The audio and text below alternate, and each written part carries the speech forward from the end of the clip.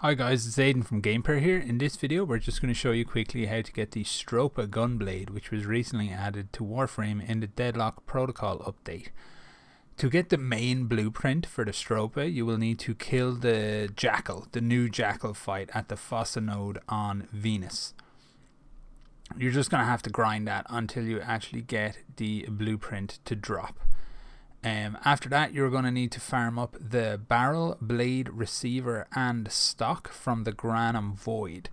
The Granum Void is a new thing that was added to the game. To get access to it, you will need to run missions on the Corpus ship tile set.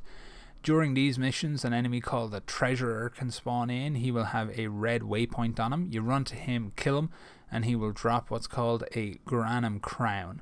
And they can be used at the Golden Hand attributes that also spawn randomly on the Corpus ship tile set to visit the Granum Void.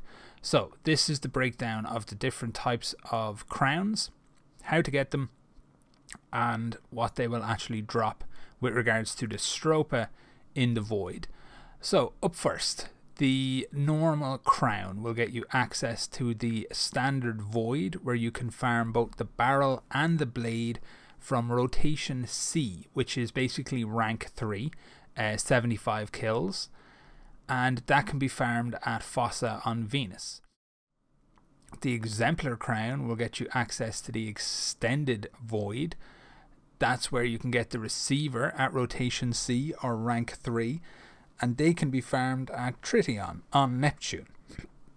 The Zenith Crown, the last one, will get you access to the Nightmare Void.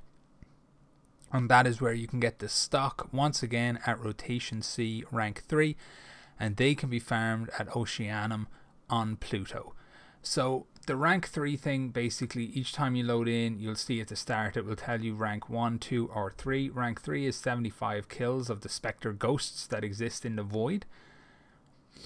And the rewards will all stack. So if you get to rank 3 you will get the rank 1 rank 2 and rank 3 rewards when it is all over. But you're basically going to be grinding that until you get all the parts. When you have all the parts you can go back to the orbiter, you can go to the foundry, you can make up your gunblade, which will take a 24 hour build time. And that's it. That's how you get your hands on it. We haven't really had much time to play with it yet, just a little bit. But it's a lot of fun. I'm going to see how it stacks up against something like a Redeemer Prime later, and I'll hopefully have some build videos on the way at some point over the weekend. So thanks for watching, guys. I hope you're enjoying the new content.